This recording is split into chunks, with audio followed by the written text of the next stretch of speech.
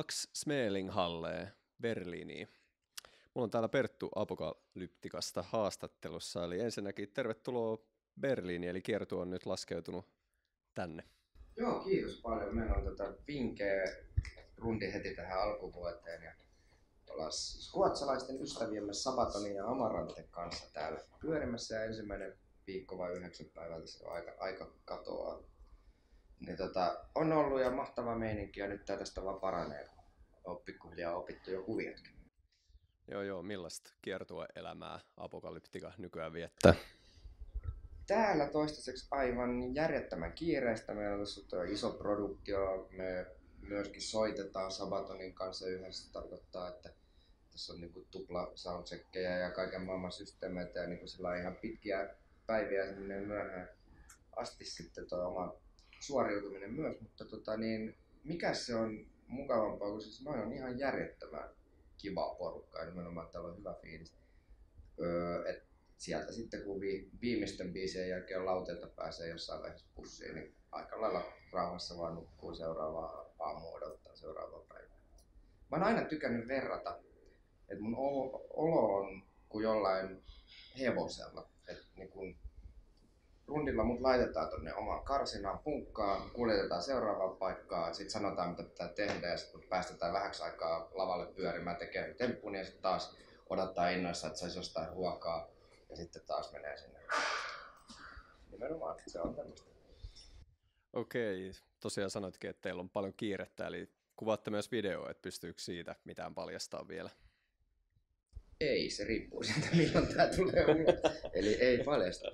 Mutta joo, tänään piti sitten käyttää aika hyödyksi. On tota, niin vähissä nuo päivät, mitä pystyy. Ja, et täällä ollaan nyt sitten tämän päivän aikana aamulla aloitettu jo sitäkin touhua tekemään ja yritetty polttaa puolet areenasta tuolla.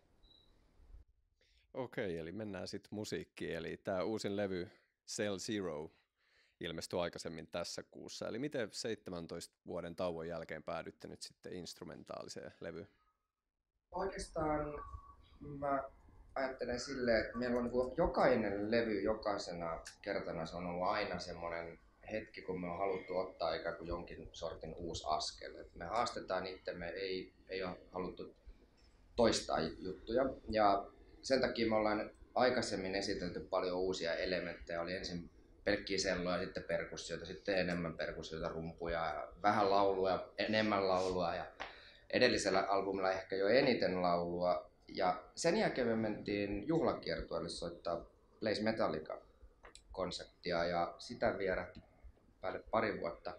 Ja me soitettiin vaan sitä meidän Apokalyptikan uran alkujuttua neljäselloin instrumentaalikeikkoja ja siellä itse asiassa rupesi pikkuhiljaa niin kuin kirkastumaan niin kuin selkeästi, että, että jos me halutaan mennä nyt taas joku uusi hyppy meidän edellistä Shadowmaker-levystä, niin todennäköisesti se hyppy pitää olla nimenomaan sinne suuntaan ja taakse ja kauas taakse, että niin kuin oikeasti irrotetaan meidän ajatukset kaikesta siitä, että tehdään jotain radioformaattisia biisejä laulajien kanssa, mistä vierailijat. Ja me päätettiin, että nyt on se hetki, että on oikeasti hyvä tämmöisen 23-vuotisen ura jälkeen, niin todella keskittyä taas itseemme, sulkea kaikki muu pois, kaikki muut ulkopuoliset vaikuttimet ja ajatella, että mitä vaan me neljä halutaan just siltä musiikilta ja mikä on ehkä tämän bändin perimmäinen ydin. Ja totta kai siis vastaus on niin kuin hyvin itsestään selvästi sello. Sen takia me lähdettiin tekemään Solu Nolla, Cell Zero-albumiakin, että tota, etsimään ikään kuin sitä ydintä, mistä, mistä tämäkin juttu on lähtenyt ja mihin kaiken tulee myös johtaa. Että niin, tuommoisella tematiikalla, että nimenomaan kurotettiin kauas taakse, sillä tavalla tuntuu, että päästiinkin eniten eteen. Okei, entä sitten askeleen myötä, niin muuttuuko teidän työskentelytavat taas jotenkin, että millainen tekoprosessi oli? Tekoprosessilta tämä oli kanssa ö, nyt verrattuna edellisiin niin erilainen sen takia, että me päätettiin olla niin diktaattoreita, että me tuotetaan tämä itse, että me ei haluttu edes siinä kysyä nyt keneltäkään neuvoa eikä mielipiteitäkään varsinaisesti. Koska meillä oli se olo, että jos me oikeasti halutaan nimenomaan nyt etsiä se oma sielu, vangita se ja, ja kuulla, miltä se kuulostaa, jos me vaan keskenämme keskitytään musiikkiin, niin siksi me suljettiin ne ulkopuoliset vaikuttimet pois. Ja totta kai jatkossa, kun tehdäänhän me nyt lauluyhteistyötä edelleenkin, mutta se vaan tuntui hirveän loogiselta, että tämä levy säilyy tämmöisenä niin kuin artistisena kokonaisuutena ja sillä tavalla just varmaan taloudellinen itsemurha, rohkea ratkaisu mikä vaan. Mutta meille se tuntui hirveän hyvältä semmoiselta, että nyt, nyt niin kuin päästiin sinne musiikin sisälle ilman, että tarvitsi yrittää pakottaa sitä mihinkään formaattiin. Okei, noin arvostelut on tietysti luette, mutta mitkä sun nyt omat tota, tunteet ja ajatukset on levystä, että nyt kun se on ulkona ja on päästy jo soittamaankin livenä? Mä oon ollut siis tosi tosi tyytyväinen tästä levystä just sen takia, että se tuntuu niin voimakkaasti just omalta itseltään. Ja että siinä on, siinä on moni sellainen osa-alue soundista miksaukseen, ne on niin erinomaisia. Ja, ja siinä on varmaan tietyllä tapaa uskaltaa sanoa, että niin kuin rohkeinta vaikka sävellystä, mitä apoilla ollaan tehty. Juuri nimenomaan siitä syystä, että me vaan seurattiin sitä vapautta. Me haluttiin koko ajan tuntea, että biisit saa tulla vaikka 10 minuuttisiksi. Ei ole mitään väliä. Niitä ei tarvii nyt istua mihinkään lokerikkoon. Ja, ja nimenomaan hulluja ideoita ja osia toistensa perään, mutta kuitenkin jonkun sortin logiikkaahan siinä haettiin. Ja sen takia me ehkä siihen löydettiin, siihen tuli tämä vahva tavallaan ainakin meille semmoinen viitekehys ja teema tolle albumille.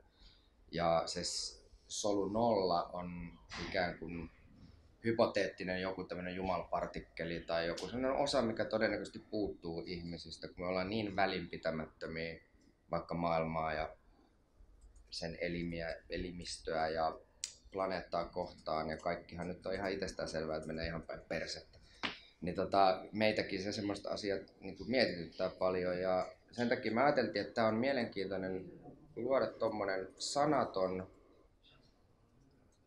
ikään kuin maalaus. Tai että siinä on, jokainen biisi on maalaus, mutta kuvia, jota kuulija toivon mukaan kuuntelee ja katselee. Ja sitten tota, että jos se herättää ihmisissä jotain kysymyksiä, niin sitä me toivotaan, että, että se on abstraktilla tavalla kertoo paljon sanomatta itse asiassa kuitenkaan yhtään mitään. Joo, tuohon liittyen, niin onko tämä uusi levy, niin onko se nyt sitten instrumentaalinen levy, jolla on kuitenkin tietty viesti?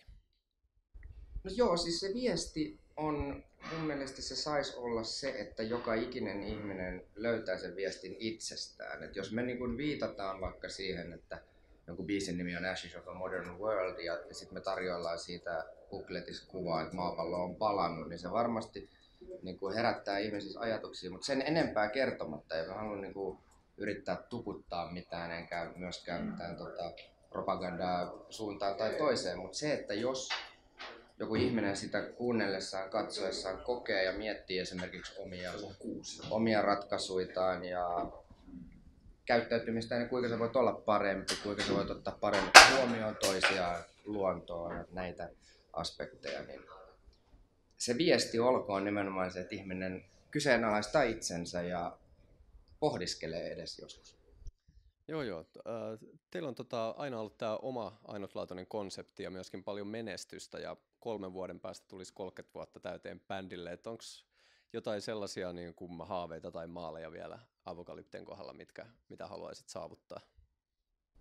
Mä oon aina ajatellut, että meidän ylivoimaisesti suurin saavutus on oikeasti se, että me ollaan pysytty yhdessä. Ja nyt vielä varsinkin tällä kokoonpanolla jo näin pitkään. Ja, että me ollaan onnistuttu käymään läpi monet kivikot ja rososet polut ja alamäet. Siis sillä tavalla, että se kuitenkin jossain bändin touhussa kaikista tärkeintä olisi se, että sulla on hauskaa, koska sen huomaa lavalla, jos, jos fiilis ystävien väliltä katoaa, se kuuluu ihan soitossa ja kyllä se yleisökin sitten välittyy. Niin sitä me on niinku vaalittu aina meidän tärkeimpänä, että meneen ja meidän täytyy niinku ihan rakastaa toisimme ja sitten se pitää olla maailman siisteitä, että me saadaan mennä paikasta toiseen.